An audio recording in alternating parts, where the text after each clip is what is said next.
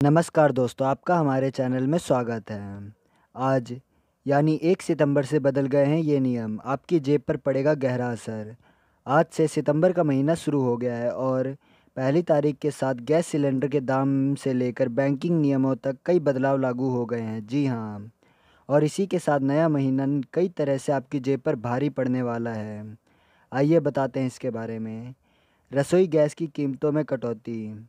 रसोई गैस की कीमतों में सौ रुपये की कटौती की गई है। जी हाँ ये कटौती कमर्शियल एलपीजी सिलेंडर की कीमतों में की गई है। एक सितंबर से दिल्ली में एक इंडियन के 19 किलो के कमर्शियल सिलेंडर की कीमत इक्यानवे रुपये कोलकाता में सौ रुपये और मुंबई में बानवे रुपये चेन्नई में छियानवे रुपये सस्ता मिलेगा।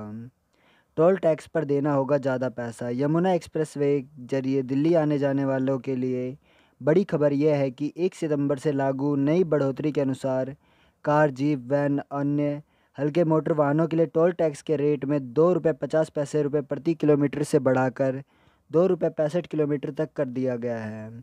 यानी प्रति किलोमीटर दस पैसे की वृद्धि की गई है। गाज़ियाबाद में बढ़ेगा circle rate.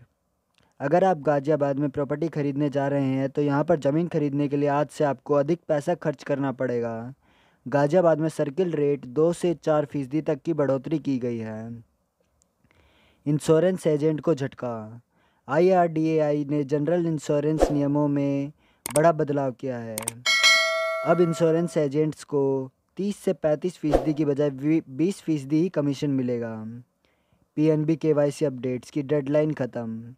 Punjab national bank अपने ग्राहकों से लंबे समय से केवाईसी अपडेट कराने को कह रहा था। आज से के अपडेट कराने की डेडलाइन ख़त्म हो गई है। और इस काम को पूरा करने के लिए बैंक ने आखिरी तारीख इकतीस अगस्त 2020 तय की थी। जी हाँ दरअसल बैंक ने साफ़ तौर पर कहा है कि अगर आपने अपडेट, के अपडेट नहीं किया तो आपके, आपको अपने खातों से पैसों का लेन देन करने में दिक्कत आ सकती है।